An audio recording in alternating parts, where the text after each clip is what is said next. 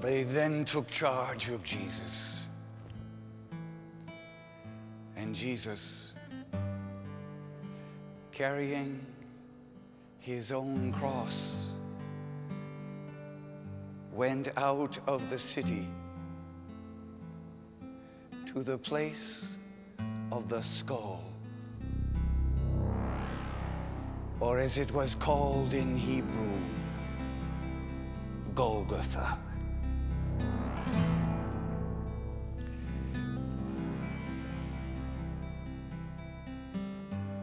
There, they crucified him.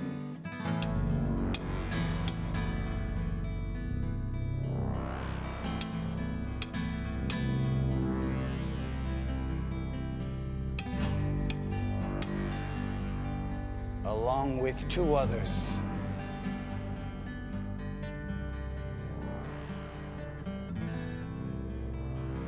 Pilate wrote out a transcription and had it fixed to the cross.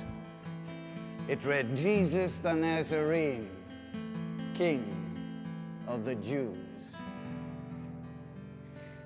This notice was read by many of the people, since the place where Jesus was crucified was not far from the city, and the writing was in Hebrew, Latin, and Greek. The chief priest came to Pilate and said, You should not have written King of the Jews. But this man said, I am King of the Jews. Pilate replied, What I have written, I have written.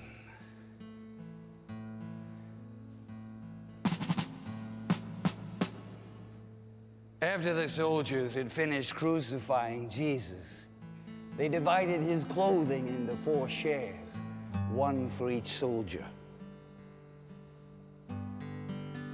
Now his undergarment was seamless, woven in one piece, from neck to hem.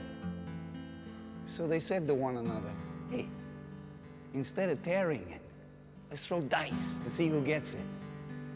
In this way, the words of Scripture was fulfilled. They shared out my clothing among them. They cast lots for my clothes. And that's exactly what the soldiers did.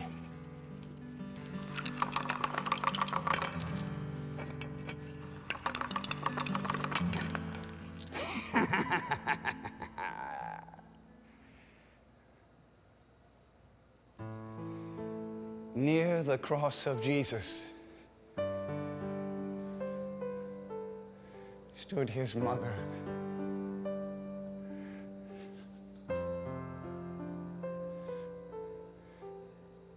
And his mother's sister, Mary, the wife of Clopas, and Mary of Magdala.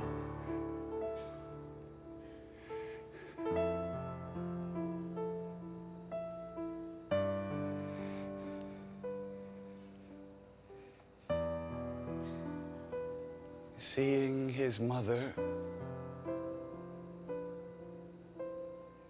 and the disciple he loves standing near her, Jesus said,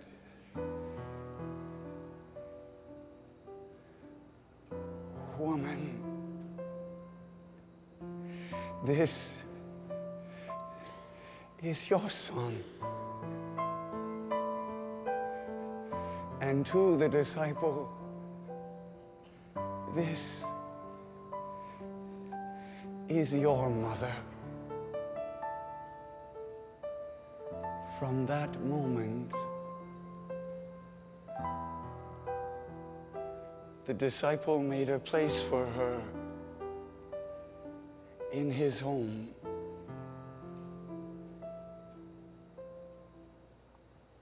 After this, knowing now that everything was complete. And to fulfill the scripture perfectly.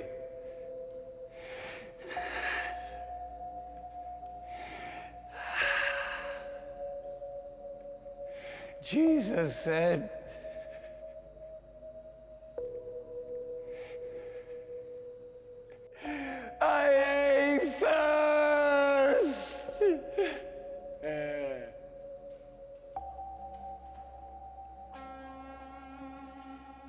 some vinegar there. And they took a sponge and soaked it in the vinegar, put it on a hyssop stick, and put it up to his mouth.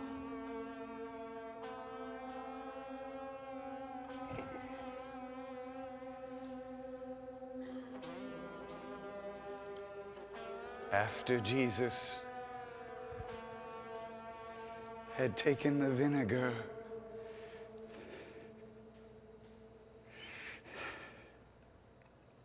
he said,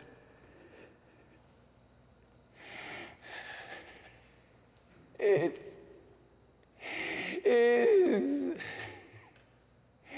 accomplished. And bowing his head,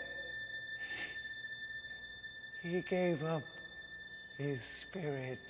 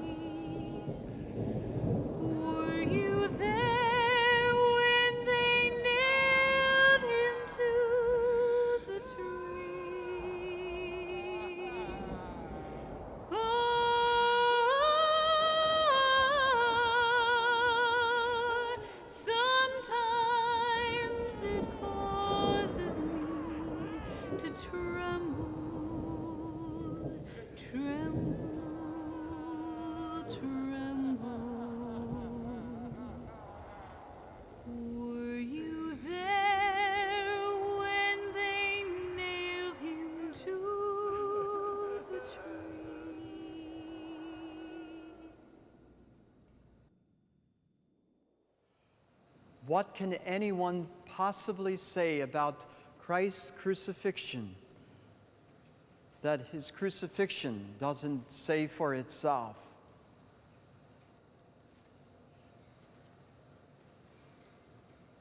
Perhaps we could briefly reflect on Jesus' final words that John records as the greatest sermon ever preached from this pulpit of his cross.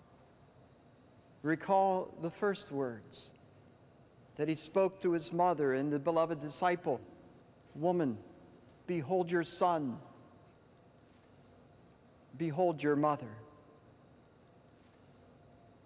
It's amazing that in spite of Jesus' excruciating pain, that he had the presence of mind and the gift of love in his heart to want to care for his mother and to share his mother with his beloved disciple. It's interesting to note that even John doesn't use his name to describe himself, but says the beloved disciple because he wants everyone to see themselves there as the beloved disciple of Jesus.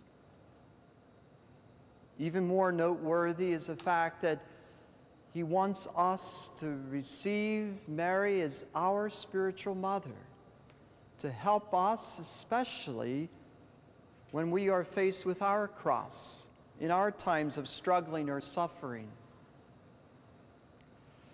This came home to me when, shortly after my surgery, when my entire right kidney was removed with a sizable tumor. And in a period of recuperation, I was very fortunate to be able to recuperate with, at my parents' home. And they were so gracious and good to me. I've learned I, there are times I wanted just to be alone and I would close my door. But those other times when I really welcomed their company and presence, I would leave the door open. And inevitably, whenever I left my door open, mom and dad would come and be with me and accompany me and pray with me. But what I remember most is how my mother would always come. And I'd already had begun this immunotherapy treatment that had caused me uh, rather high fevers and even physical tremors. And it was difficult at first as my body was trying to adjust to this, all these medicines. And she would just sit at the foot of my bed, massage my feet and my heart, and pray the rosary. And somehow there's so comforting and consoling that I was reminded of Mary and how she stood at the foot of the cross and must have given Jesus all the encouragement and the strength he needed. That is the gift of Christ to us. If you leave the door open for Mary to come to you. The second of the final words that Jesus spoke from this pulpit of his cross was very simply I thirst. I thirst. But we'd have to ask, thirst for what? Certainly, he was feeling de- dehydrated. Certainly, in his excruciating pain, he thirsted for some relief. But don't you suspect that his thirst was much deeper, touched into his soul? All his life, he had thirsted to do God's will. And all his life, he thirsted for others to know and feel and taste the love of God. Jesus' thirst was his passion. And isn't it interesting that we would even name Jesus' suffering and death as his passion? Because truly, it was his greatest love to even give his life for us, even to go to this extent, if this is what it meant, to show us how much He loved us. What is your passion? What do you thirst for? Mother Teresa had those two words inscribed in all the convents in the, in the chapel of every one of her homes throughout the world. Underneath the cross, she put, I thirst. For these words of Christ speak to us today. And finally, the last words of Jesus on the cross is it is accomplished as he bowed his head and gave up his spirit. What was accomplished? What was his mission? What was it that he gave up or gave over? We believe in that moment Jesus died as he had always lived, in a spirit of total surrender, even his arms opened up in that gesture of surrender, handing over to God everything he had, even his last breath, even the last ounce of his blood that was taken from his body. He gave it all over. And when he breathed his last, he poured out his spirit upon us all. Can you imagine what that meant? To surrender that much? We all have an invitation to experience that somewhat in our life because so many times we feel like things are taken out of our hands or we are no longer in control. You know that feeling. We all like to be in control of our life. We all like to be able to determine what we want to do. But we're being called, if we're true followers of Jesus, to surrender everything, even your wants, even your rights. Think about it, my friends. Surrender is the one lesson of the spiritual life. And it's the lesson that suffering will teach us more than anything. I believe the thing I have struggled with most is not the pain of what I deal with, but the challenge of surrender, to not knowing how long or live or what will happen or surrender, surrender, surrender. Would you be willing tonight to open your hands a little bit further, to open your heart a little bit wider, to open your mind a little bit more so that we could hand over our life to the Lord, that the Lord could hand over his life to us. Surrender. In the world, it means I give up, I lose. But in the spiritual life, it means God wins, and so do we. So let us surrender everything to Him.